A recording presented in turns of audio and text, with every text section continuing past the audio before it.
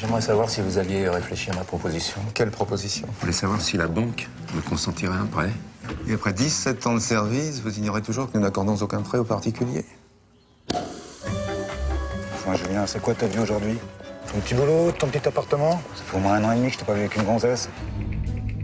Avec une telle nouvelle, Blue Mineral devrait bondir de 25 à 30% dans la journée, ce qui devrait nous faire autour de 80 millions. Je veux acheter du Blue Mineral. Pardonnez-moi, mais il me semble qu'utiliser cette information relèverait du délit d'initié caractérisé. Excusez-le, il débute.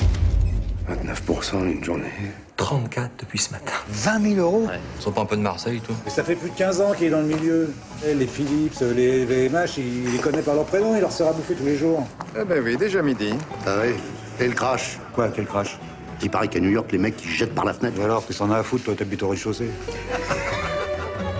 Moi, le hasard m'a toujours fait tomber sur le même genre de mec.